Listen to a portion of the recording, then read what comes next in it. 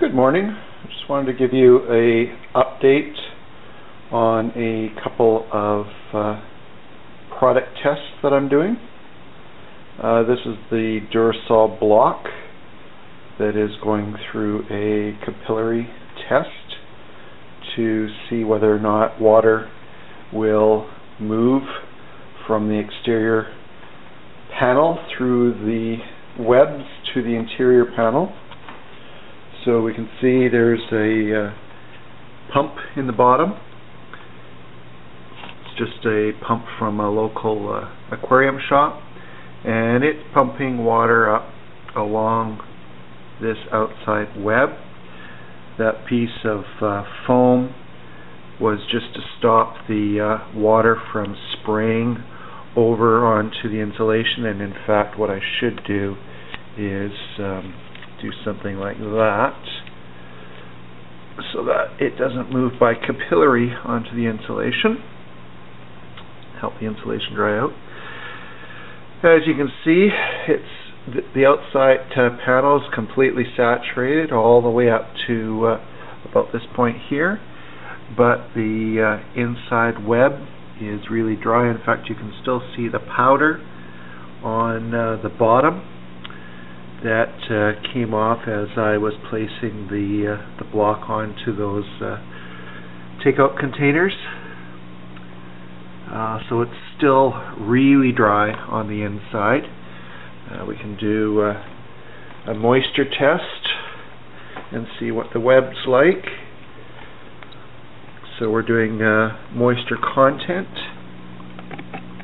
and sticking it in about halfway and we're at 12%. Uh, so that's a bit higher than we started, but it's what I would expect because we are now having this in a water bath, so the relative humidity in this area will be higher, and therefore the moisture content will be higher.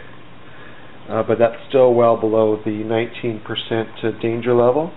Uh, what I'll do is in a in an excerpt at the end of this video I'll uh, get my uh, meter out to test what the humidity level is in that area.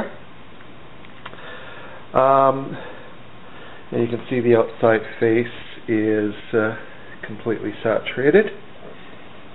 So, and you can see the little dripping that's happening as the uh, the moisture moves through the outside uh, panel and drips back into uh, the tub below the uh, piece of paper that uh, I stapled to the outside edge is uh, in this area here and it is still uh, bone dry. Uh, you can see it uh, a little bit better there.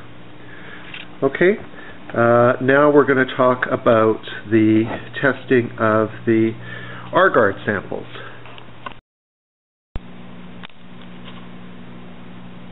So as mentioned, I thought that the uh, humidity level within the uh, the base would be much higher because we're over a water bath. So we're at 62% uh, humidity, or 60% thereabouts. That explains the higher moisture content within the web connecting the outer and inner panels and it still does not look like any type of capillary action is happening between the outer and inner webs.